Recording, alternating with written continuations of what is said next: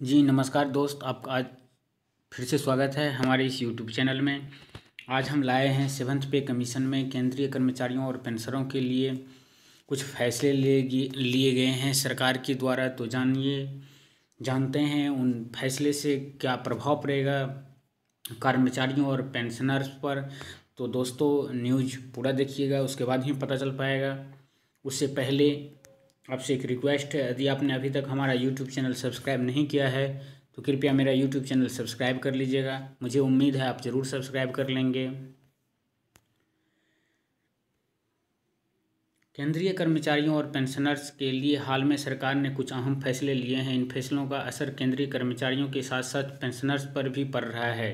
Corona संकट के दौरान कर्मचारी महँगाई भत्ते पर निराशा झेल रहे हैं। वहीं लेकर पेंशन क्लेम को लेकर भी सरकार ने अहम फैसला लिया है। सबसे पहले बात करें महँगाई भत्ते की तो इस पर जल्द तस्वीर साफ़ हो सकती है ऐसा इसलिए क्योंकि इस मुद्दे पर इसी महीने बैठक होने जा रही है। मीडिया में जारी खबरों की माने तो कर्मचारियों की प्रतिनिधि संस्था नेशनल काउंसिलिंग ऑफ़ सीसीएम के पदाधिकारी, वित्त मंत्रालय और कार्मिक एवं प्रशिक्षण मंत्रालय के अधिकारियों के साथ 26 जून को बैठक होने जा रही है। जी हाँ 26 जून को एक बैठक होने जा रही है। उसमें डीए महँगाई भत्ते पे निश्चित रूप से फैसला होगा।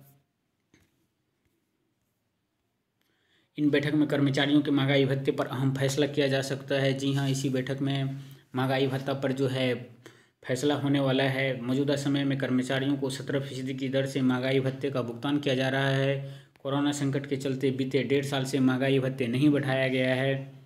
ऐसे में माना जा रहा है कि कर्मचारियों के अट्ठाईस फ़ीसदी महँगाई भत्ते की घोषणा हो सकती है।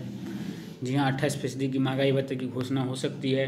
बात करें दूसरे फैसले की तो सरकार ने ट्रैवलिंग अलाउंस क्लेम सबमिशन की समय सीमा साठ दिन से बढ़ाकर एक सौ अस्सी दिन कर दिया है। जी हाँ पहले ये साठ दिन था क्लेम करने का, लेकिन अब इसे एक सौ अस्सी दिन बढ़ा दिया है। यात्रा खत्म होने वाले दिन से दिनों की गिनती मान्य होगी। हालाँकि केंद्र ने घोषणा की है कि टूर ट्रांसफ़र और ट्रेनिंग पर टीए क्लेम के लिए आवेदन जमा करने की समय सीमा पहले की तरह ही सात, साठ दिन है।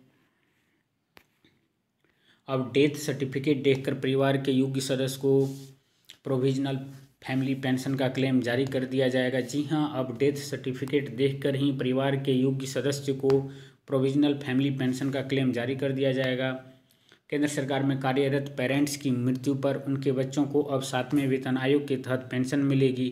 जी हाँ केंद्र सरकार में कार्यरत पेरेंट्स की मृत्यु होने पर उनके बच्चों को अब सातवें वेतन आयोग के तहत पेंशन मिलेगी। पेंशन की अधिकतम सीमा अब one point two five lakh रुपये कर दी गई है। नए नियम के तहत न्यूनतम पचहत्तर हज़ार तो अधिकतम इतना लाख अधिकतम 1.25 लाख रुपए की सीमा तय कर दी गई है। दोस्तों, ये वीडियो कैसा लगा है? यदि आप हमारे यूट्यूब चैनल पर नए हैं तो आपसे रिक्वेस्ट है, प्लीज़ मेरा यूट्यूब चैनल सब्सक्राइब कर लीजिएगा। हम इसी तरह नए नए वीडियो आप लोगों के लिए लाते रहेंगे। तो धन्यवाद।